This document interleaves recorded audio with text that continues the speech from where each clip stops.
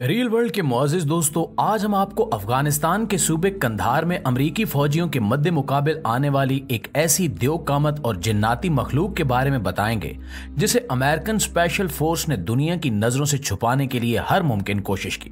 America की special force के त्यारे इसे अफ़गानिस्तान से किसी दूसरे मकाम की तरफ़ ले गए, लेकिन किस मकसद के लिए ये आज तक मालूम नहीं हो सका।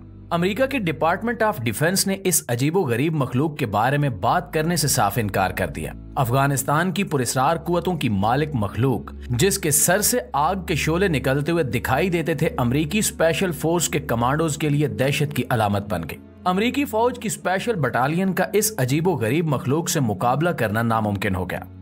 क्या अफ़गानिस्तान के अमेरिका से जंग जीतने के पीछे यही कंधार की अजीबो गरीब जिन्नाती मखलूक थी, जिनकी हकीकत अफगानी तालिबान ने तमाम दुनिया से छुपाई रखी? प्यारे दोस्तों, सन 2002 में अमरीकी फौजियों का एक यूनिट अफ़गानिस्तान के शहर कंधार से इंतहाई पुरस्कार तरीके से गायब हो गया। ये वो जमाना था जब अफ़गानिस्तान में अमरीकी फौजी अफगान तालिबान के साथ बरसे बेकार थे। अमरीकी फौजियों का ये यूनिट अफ़गानिस्तान तालिबान के खिलाफ एक ज़बरदस्त झड़प के लिए खुफिया तौर पर पेशकदमी कर रहा था। इस यूनिट को एक खसूसी टास्क दिया गया था, जिसके नतीजे में अमरीकी फौजी अफगानी तालिबान के बहुत से खुफिया अड्डों को तबाह करने के साथ साथ तालिबान की जमात के आम अहदेदारों को खत्म करने के लिए जा रहे थे और पूरे फौजी साजो सामान से लैस ये दस्ता मुसलसल पेशकदमी कर रहा था। एक आम फौजी टास्क की वजह से अमरीकी अपनी यूनिट के आला अफसरान के साथ मुसलसल रबते में थे और इन्हें मुसलसल इस टास्क को कंप्लीट करने के लिए हिदायत दी जा रही थी। लेकिन अचानक कुछ ऐसा हुआ, जिसने अमरीकी यूनिट के आला अफसरान के दरमियान खलबली मचा दी। हैरत अंगेज तौर पर अमरीकी फौजियों का ये यूनिट अचानक गायब हो गया। इन फौजियों के साथ रेडियो सिग्नल्स के ज़रिए रबता करने की कोशिश भी की गई, लेकिन इनके साथ रबता नामुमकिन साबित हुआ। कोई नहीं जानता था कि अमेरिकन आर्मी ने अपने लापता होने वाले फौजियों को ढूँढने के लिए एक स्पेशल यूनिट को भेजने का इरादा किया। जब ये यूनिट उस इलाके में पहुँची, जहाँ से वो फौजी गायब हुए थे तो इन्हें बेहद कोशिश के बावजूद कोई ऐसा सुराग नहीं मिला, जिसकी मदद से वो खोए हुए फौजियों तक पहुँच सके। बहुत तगुदाव के बाद जब वो मायूस होकर वापस आने लगे तो इन्हें एक पहाड़ के ऊपर मौजूद गार के पास अपने गुमशुदा फौजियों की कुछ चीज़ें दिखाई दी।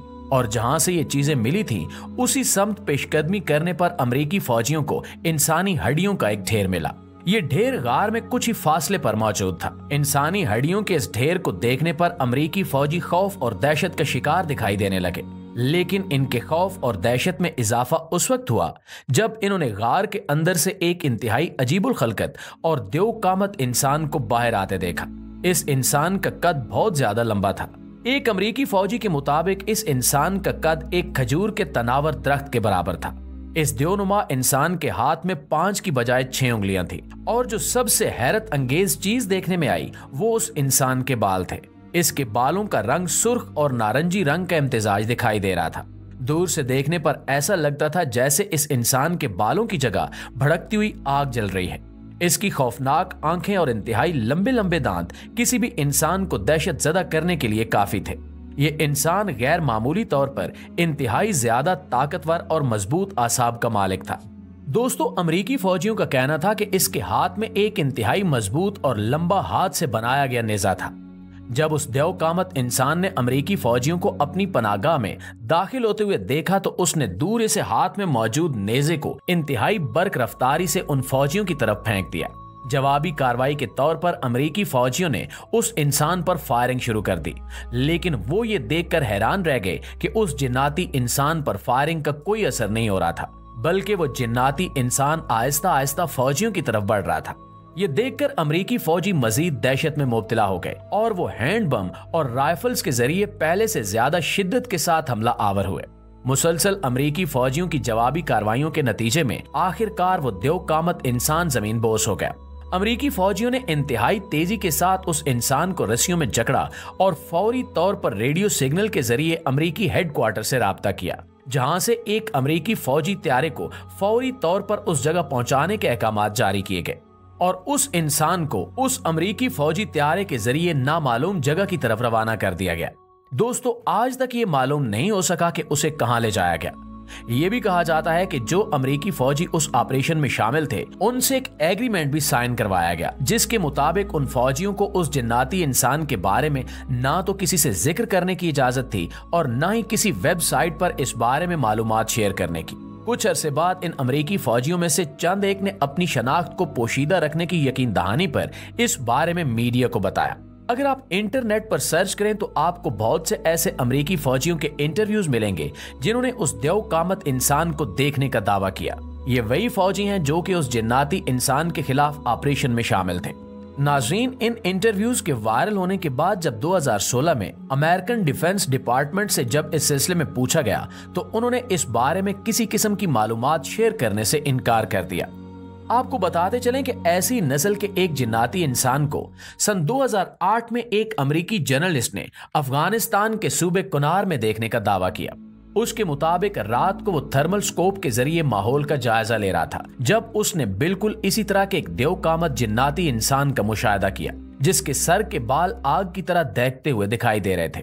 हैरत अंगेज तौर पर उस इंसान के हाथ पर भी छह उंगलियाँ थी और उसका कद 12 से 13 फुट लंबा था। उस जर्नलिस्ट ने जब उसे अपने पॉइंट ऑफ़ फोकस पर परखने की कोशिश की तो ये जल्दी दरख्तों की आड़ लेकर गायब हो गया। दोबारा बे कोशिश के बाद भी ये उस अमरीकी फौजी को दिखाई नहीं दिया। अगर आप इंटरनेट पर सर्च करें तो आपको अमरीकी फौजियों की जुबानी बेशुमार ऐसे वाकयात मिलेंगे, जिनमें इन फौजियों का दावा है कि उस जंग के दौरान इनका मुकाबला देवहिकल जिन्नात से या आसमान से नाजिल की जाने वाली किसी हैरत अंगेज मखलूक से हुआ। ये अल्लाह ताला की पैदा करदा कोई जिन्नाती मखलूक थी, या अफ़गानिस्तान के लोगों की मदद के लिए उतारी जाने वाली पोशीदा मदद, ये तो अल्लाह ही बेहतर जानता है।